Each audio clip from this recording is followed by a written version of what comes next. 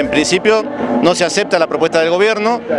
eh, y se hace una contrapropuesta. Esa contrapropuesta es la resultante de todos los aportes que se hicieron en, en los eh, plenarios departamentales la semana anterior, el día viernes,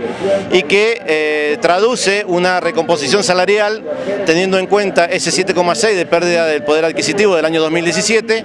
y con una cláusula gatillo que tenía que ver con un, con un ítem o un índice que se ajustara mensualmente. El gobierno eh, dice que la,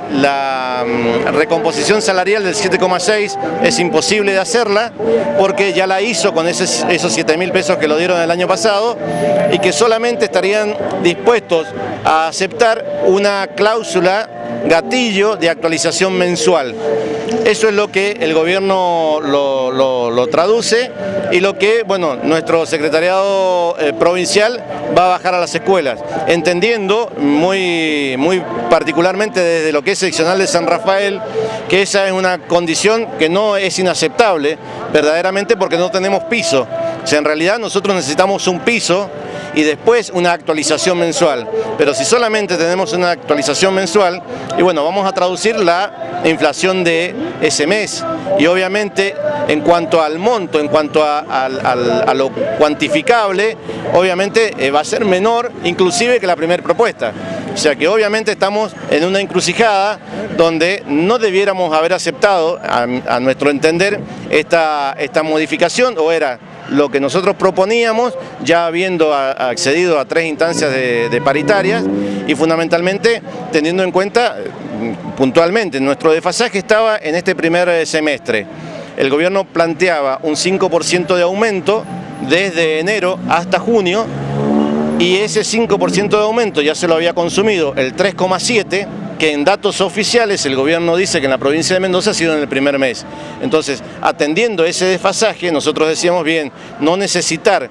cumplir con el 15,7 a mitad de año, sino que fuéramos corrigiéndolo mes a mes.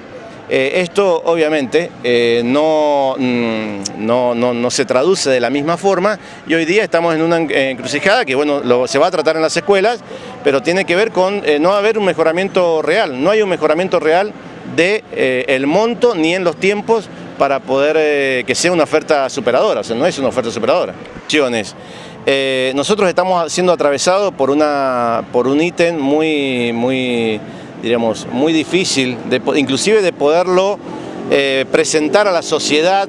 como han tratado de presentarlos del lado bueno. O sea, todo lo que ha representado el ítem aula, inclusive en esto de, de no mm, darnos la posibilidad de, eh, diríamos, de participar o de poder eh, ser eh, de una, de una protesta, de una medida de fuerza, bueno, nos lleva a,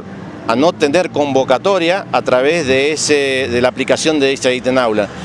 Nosotros tenemos varias dificultades, o sea, nosotros hacemos nuestro, nuestro servicio es un servicio educativo nosotros eh, al ingresar a, nuestro, a nuestra unidad de, trabajo, nosotros tenemos que hacernos cargo de esa, de esa actividad, de esa tarea, de ese servicio. Y fundamentalmente tenemos la responsabilidad civil de quienes nos, eh, con, suma confianza, nos dejan sus eh, hijos para nuestro cuidado. O sea que verdaderamente la figura, digo, del, del docente, inclusive de el trabajador como el celador, tiene que ver con una responsabilidad totalmente distinta y por eso no puede hacer como lo hacen otros, otros espacios donde no se atiende, estamos en asamblea, no hay atención de público, nosotros no podemos hacer eso. Si accedemos a nuestros lugares de trabajo tenemos que hacernos cargo de, eh, por el cual es nuestro servicio y nuestra responsabilidad fundamentalmente civil, en el cual recae la responsabilidad y el cuidado de las personas.